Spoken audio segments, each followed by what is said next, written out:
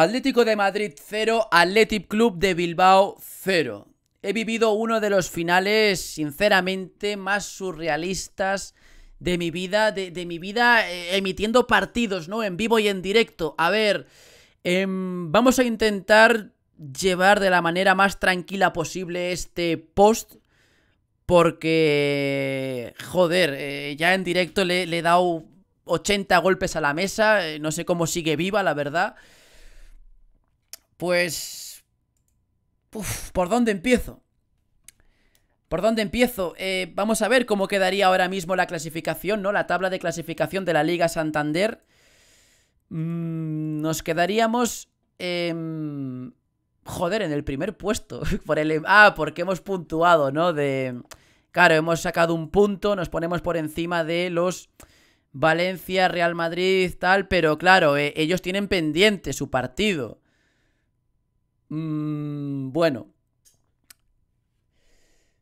Claro, es que hemos acabado líderes, joder. Es que eh, esto, a ver, a ver. Hay que esperar a que jueguen su partido, los otros equipos. Eh, estoy, claro, es que estoy pensando un, un, futuro alterno en el que no puntúa nadie y te quedas líder. Pues a ver, te, te vas contentillo, pero la, la, impotencia está en no haber puntuado de, de tres. ¿A quién se enfrenta el Madrid? Al Valencia, se enfrenta al Valencia. O sea que uno de los dos va a puntuar, vale, uno de los dos va a puntuar mínimo, diferencia de goles, 7, eh, vale, eh, se va a poner líder sí o sí, o Valencia o Real Madrid, chicos, o Valencia o Real Madrid. Ponedme por el chat eh, quién os gustaría más que puntuase. Un empate, victoria del Valencia, victoria del Real Madrid. Pero bueno, eh, despedimos este partido líderes, pero líderes, por así decirlo, ¿no? líderes entre comillas. A ver, el Atlético de Madrid salía con esta alineación. Una alineación que, a ver, eh, no, no puso a Joao de inicio. Había mucha gente pues que ya, está empezando la, la, guerra interna, ¿no? ¿Quién debe ser titular? ¿Joao o Antoine? Simeone lo que está haciendo, que os lo he dicho muchas veces, ya está experimentando porque no hubo pretemporada. Y cada jornada que pasa, pues está probando un nuevo 11 con un nuevo esquema, ¿no? Con nuevos jugadores. A ver bueno, hasta dar con la tecla, ¿no? Probó primero con eh, Grisman Correa y arriba Luis Suárez. Eh, en el partido contra el Oporto probó con Joao y Suárez y ahora ha probado con Grisman y Correa. A lo mejor el próximo partido prueba de titular, ¿no? A Joao con Correa y el próximo a Grisman con Joao Félix. Mucha gente decía que al tener tanto fondo de armario, ¿no? En la línea de ataque que por eso ya éramos favoritos para ganar esta liga. Y es lo que os digo, estamos buscando la tecla. Cuando la encuentre Simeone, pues quizás a partir de ahí eh, la cosa será muy distinta, pero pues eh, tiene sus consecuencias a veces, ¿no? El otro día conseguimos, em, conseguimos remontar el resultado contra el español, pero por ejemplo el día del Oporto nos fuimos con un punto a casa y el día de hoy más de lo mismo, nos vamos con un punto a casita. ¿Ha habido alguna que otra ocasión? Bastante interesante, pero no he visto un partido típico de, de hacer 100.000 ocasiones y que la pelotita no entra, ¿no? Como el año pasado contra el Levante, el año pasado también contra el Betis, contra el Celta de Vigo. No he visto un partido tampoco así, pero repito, em, es que han pasado unas un par de cosas que yo me he quedado flipando. Em, vamos a ir poco a poco. Vamos a ir poco a poco, chicos. Eh, no quiero precipitarme. No fueron convocados ni Coque ni Lemar por, por ¿eh? Lo recuerdo porque había gente que decía, ¿por qué no está Lemar? A ver si se recupera pronto. Con Dogbia se ha ido tocado y lo mismo Tripier. Ya viene la plaga de, lesiones y justo en, en puestos que, que, no nos convienen. No hay lesiones arriba en la línea de, de ataque. Eh... Ah, me apunté esto. Se añadieron nueve minutos hoy en el Rayo Getafe. Golito de Radamel Falcao en su debut en Vallecas. Y he puesto aquí, ¿no? He puesto aquí, se añaden muchos minutos en otra jornada más que pasará desapercibido. Completamente de acuerdo. Con el, con el yo del pasado, ¿no? Se añaden nueve minutos en, una, en un partido que va a pasar desapercibido. Solo se hace el escándalo cuando añaden contra el Atlético y porque marca. Si no hubiese marcado, no hubiesen dicho nada. Hoy mm, añadieron 6 minutos y quedaba una última jugada y dio igual. El árbitro en el 6 finalizó el partido. ¿Sabes? Porque es que por lo menos espero que todo esto sirva para que dejen de dar por culo, tío. Los que decían que no sé qué, viento arbitral a favor, ¿no? El Calabres, toda esta gente. Eh, en fin. A ver, seguimos comentando. Esto, muy cómodo el Atlético, primeros minutos, muy cómodo. Primera ocasión peligrosa que falla Antoine. Es verdad, esta ocasión fue, fue terrible, tío. No, no tuvo ahí equilibrio Antoine y no pudo, no pudo darle. Tarjeta amarilla para Condogbia, que tengo aquí los apuntes, ¿no? Los datos. Condogbia ha jugado 5 partidos de liga y le han sacado amarilla en 4. Y he visto antes que en total, en las 5 jornadas que llevamos jugadas, han sacado un total de 22 amarillas, tío. 22 amarillas nos han sacado. Hay licencia, hay, hay licencia, ¿eh? Para sacarnos todas las amarillas posibles. En fin, como he dicho antes, con Dogbia se fue tocado, Simeone en la segunda parte hizo un triple cambio, Suárez, Carrasco y Herrera por Grisman, Lodi y Condogbia. A ver, la primera parte, pues, eh, mi opinión no ha sido mala, pero tampoco ha sido buena. Ha estado cómodo el Atlético, pero tampoco ha sido un baño al Athletic Club. Antoine Grisman, pues para mí no lo ha hecho mal, pero repito, tampoco lo ha hecho un, buen partido. Para mí, malos partidos hacía Vitolo, malos partidos hacía pues eh, Pieto también, pero, yo a Griezmann no le he visto un mal partido, sinceramente, pero todavía, o sea, eh, seguimos sin ver a ese Antoine, a ese Antoine del Atlético de Madrid. Mm, la gente decía, ¿no? una recuperación a corto plazo. Está costando también. No sé, no sé si también es el esquema que no se siente cómodo. Hay que dar con la tecla, chicos. Y habrá que esperar. Luego, en Renan Lodi. Renan Lodi que ha recibido muchas críticas porque en defensa mm, pierde muchos balones. A mí en ataque me ha maravillado. A mí me encanta Lodi, siempre lo he dicho.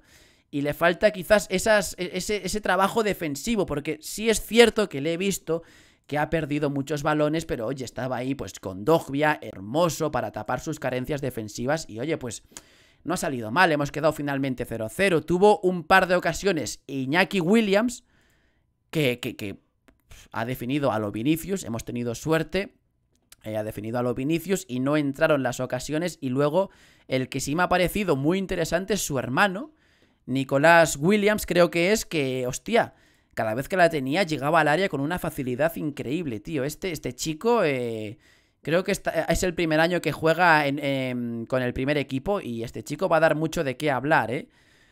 Para mí, en el partido, me ha, me ha puesto más nervioso que su hermano, Iñaki. Sinceramente, no sé.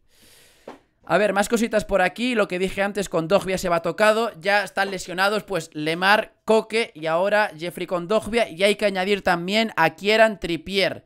Pero bueno, lo de Lemar creo que fueron... Eran 10 días, así que bueno, esperando con ansias, con ansias que, que vuelva, por favor, porque hace falta Lemar eh, en este equipo. Aquí lo tengo, en Un par de errores en ataque y en defensa que, bueno, no han tenido consecuencias. Mm, más allá de que si hubiesen acertado las ocasiones, pues nos llevábamos los tres puntos, pero repito, eh, tampoco lo veo tan tan grave. Sale Joao por Correa en el minuto 60. Me está gustando mucho, me está gustando mucho, sinceramente, el hecho de que Simeone sí está demostrando a todos los futbolistas, a todos, que cuenta con ellos. A todos, quitando a Versálico, por ejemplo, ¿no? Pero a todos, a Cuña, a Joao, a Grisman, a Correa, a Lodi, a Carrasco, a De Paul, a Lemar, a Coque. Les está dando minutos buenos a todos de calidad, no los últimos 10, no los últimos 5, o sea, le deja jugar media hora a Joao. Eh, contra el Oporto fue titular, Lodi igual, es titular el día de hoy. Eh, juega 10, 20 minutos, ¿no? Em, me está gustando mucho pero de momento seguimos sin dar con la tecla, que es lo preocupante. Por aquí tengo eh, apuntado que hubo una mano no pitada que luego fue una contra letal del Athletic, que finalmente no, no, no se hizo. Bueno, eh, pequeños detalles, tampoco lo veo así como un, un robo. El, el, el, Gil Manzano este lo que sí te puedo decir es que, no sé, noto que nos tiene cierta manía, macho. o no sé, tío, pero es que hay, detalles, o sea, no, no nos ha pitado un penalti en contra descarado, ni mucho menos, y de hecho, que ahora vamos a hablar de esto, oh, pues a ver, una roja a Joao Félix, ¿no? En el minuto 77, todo fue originado por una amarilla surrealista que le pitaron a, a Joao, o sea, Era una falta en la que estaban intentando eh, derribar a Joao. Y Joao está así y le da, le da con la mano, tío. O sea, es que esas cosas no son aposta, tío. Y, y pues no sé en el resto de partidos, porque he visto muy pocos que no sean del Atlético esta temporada, pero he visto que nos han pitado un montón de amarillas. Que, es, eso que me parece un poco surrealista. A ver, y, no se me caen los anillos. Es igual que la mano esta, que le pitaron a Loporto, que es que es una mano que, igual, ¿sabes? O el fuera de juego a de Luis Suárez contra el español, o sea. Joder, tío, un poquito de no sé, de interpretación, ¿no? Estás viendo que, a ver, no es una. No era. Lo de Oporto no era una mano que quería reventar ahí el, balón para marcar. Y esa falta, pues, es absurda. Y claro, Joao a partir de aquí es cuando quizás ha cometido el error de caer en el juego, ¿no? De. de, de, de recriminarle al árbitro cosas. Y Gil Manzano, que, que yo qué sé, tío, estaba hoy. Eh, en modo, modo protagonismo eh, puro, eh, le sacó roja a Joao le sacó roja. O sea, doble amarilla en un minuto a Joao Félix que se fue expulsado. Luego, ponen por aquí, se ha hecho eco esta cuenta, que yo hasta ahora no sé si esto es oficial o, no sé qué sanción tendría Joao por esto, pero dicen que según el reglamento serían de 4 a 12 partidos de sanción para Joao Félix. A ver, em, estoy viendo mucha crítica a Joao. Yo entiendo a Joao, entiendo que muchas veces los jugadores eh, en caliente, ¿no? Inconscientemente, les sale solo. De hecho, aquí tenemos mil ejemplos de futbolistas que se han ido expulsados y con partidos de sanción por este tipo de acciones. Diego Costa, el propio Stefan Savic, que está cuatro partidos sancionado en la, Champions League, recordadlo. Álvaro Morata también, eh, un montón de casos hay, un montón. Entonces, eh, Joao, eh, ya has visto que por este tipo de acciones nos acaban, acabamos pagándolas. Hay que tener más cuidado para la próxima. Cabeza fría en este tipo de, de por favor, de, de, de momentos, ¿sabes? Tampoco es para, para insultarle ni para cebarse con, con el chaval, porque repito, hemos tenido mil y un futbolistas que les ha sucedido lo mismo entiendo la, la, rabia, tío, la frustración de que, joder, estábamos en ese momento con Joao, estaba el Atlético mejorando el rendimiento del partido y, claro, ¿cuándo salió Joao? En el, en el Joao sale en el, en el 59, o sea, 10 minutos, y a los 10 minutos se va Joao Félix expulsado. ¿Sabes? Es que... Eh, a partir de ahí ha cambiado todo. Simeone, que quería ir por los tres puntos, sacó a, Mateus Cuña incluso, ¿no? Por, por, por, por Tripier creo que fue. Em, pero no ha podido ser, no ha podido ser. Y a ver, em, repito, hay que tener paciencia. Hay que tener paciencia, sé que cuesta, sé que cuesta, sobre todo si, si el árbitro em, comete este tipo de acciones, sé que cuesta. Y espero, por favor, que la gente que decía que si viento arbitral a favor, ¿no? Eh, hoy ya has visto que nos han expulsado a uno y que es lo de siempre, ¿no? Eh, muchos otros casos, al igual que digo, de futbolistas del Atlético que han sido expulsados igual, muchos otros casos de otros futbolistas de otros equipos que también le han dicho de todo al árbitro y no se han ido expulsados, ¿sabes? No se han ido expulsados. La interpretación, yo es lo que digo, falta un poquito de interpretación. La amarilla, esa primera que le sacan, es surrealista y Joao no tenía que haber entrado en el juego de, recriminarle, al árbitro nada, ¿sabes? Nada. Pero bueno. Mmm, paciencia, paciencia y ya veremos, ¿no? Al final, ¿quién tiene que estar en el 11 de gala, en el 11 titular? Porque está costando encajar todo. Es muy fácil hacer un 11, estos de... No, mi... el, el diario marca. Penoso, ¿eh? El diario marca que decía... El once ideal, sácalo Cholo, por favor. Y, encajó en el mismo campo a Joao, Suárez, Grisman, Correa. Esto me recuerda a lo de Neymar, Lautaro. Ya has visto igual. Mbappé, Neymar, Messi el otro día empate a uno contra el Brujas, tío. O sea, eh, hay, que, hay que ir dando oportunidades. Me gusta que el Cholo les está dando oportunidades a todos, pero hay que ir definiendo poco a poco un once de gala. Porque ya habéis visto que nos están costando puntos. ¿Queréis los datos por aquí? Posesión a favor del Atlético. Y luego tiros totales 14, tío, 14 tiros. Madre mía, tiros a puerta, luego 2. De los 14, 2 tiros a puerta. Es que es increíble, tío, es increíble, macho, de verdad. Por último, el, el B-Banger. ¿Qué tal el B-Banger? A ver, que esto a veces se me olvida comentarlo y ya finalizamos el vídeo por hoy. A lo mejor, chicos, me faltan cosas por comentar, ¿vale? No lo sé, por Dios. Es un análisis en caliente. Mm, estoy muy nervioso, estoy muy tranquilo para cómo estoy. O sea, si me he dejado cosas, ya luego haremos un directo y comentaremos todo más tranquilos. Em, lo último ya, el B-Banger. Me ha puntuado de 10 el portero del Rayo que se paró un penalti contra el Getafe. El Getafe que, madre mía, también eh, a Michel por Portalás y a Vitolo por Cucurella se está, se está notando, la verdad. Jiménez que ha puntuado de 9, eh, para mí ha hecho un muy buen partido, muy buen partido. Tuvo un par de errores que nos podían costar la vida, pero, o sea, los tuvo y los corrigió rápido, ¿sabes? Entonces, eh, menos por menos más. Al final, Trejo, capitán del Rayo, puntuó de 9 y Correa un 3. E Íñigo Martínez un 5.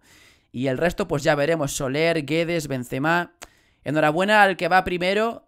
Actualmente, Evaristo 11. Que este fue su 11 por el que apostó y es el que más puntos ha obtenido hasta ahora. Worthy, segundo puesto. Fenicia Fútbol Club. Uy, Joao Félix menos uno, tío, ha puntuado. Y luego Paquetones Fútbol Club, que estaba primero, apostó por Falcao y Grisman. Paquetones Fútbol Club, que estaba primero y se ha puesto cuarto ahora, cuarto. Y yo estaba en el top 10 y ya no estoy en el top 10, ¿eh? Ya no estoy en play. Cuando... joder, macho. Cuando no. Antes del partido del Atlético estaba en top 10 y ahora ya no. En fin. Chicos, muchas gracias por el apoyo, de verdad. Hasta aquí todo por hoy y nos vemos en un próximo vídeo. Ya me pondréis vuestra opinión por la caja de comentarios. ¡Venga! ¡Chao!